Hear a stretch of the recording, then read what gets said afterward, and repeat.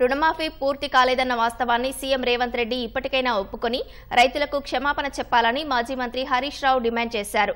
వెంటనే రుణమాఫీపై శ్వేతపత్రం విడుదల చేయాలని డిమాండ్ చేశారు. కాంగ్రెస్ నాయకులు తలాతోకా లేకుండా మాట్లాడుతున్నారని సామాజిక మాధ్యమం ఎక్స్ వేదికగా మండిపడ్డారు. రుణమాఫీ విషయమై సీఎం రేవంత్ రెడ్డి ఉప ముఖ్యమంత్రి మంత్రులు చేసిన వ్యాఖ్యలను హరీష్ రావు పొందుపరిచారు.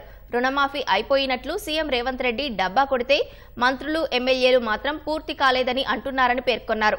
ఇంకా పన్నెండు వేల కోట్లు విడుదల చేస్తామని మంత్రి పొంగులేటి శ్రీనివాసరెడ్డి పదిహేడు లక్షల మంది రైతులకు రుణమాఫీ కాలేదని మరో మంత్రి ఉత్తమ్ కుమార్ రెడ్డి అంటున్నారని హరీష్ రావు వెల్లడించారు.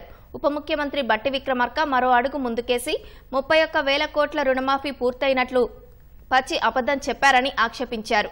ఏది నిజం ఎవరి మాటలు నమ్మాలో ముఖ్యమంత్రి చెప్పాలని కోరారు.